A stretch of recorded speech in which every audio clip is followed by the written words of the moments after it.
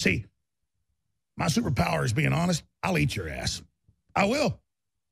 I'll do it. I will eat your ass.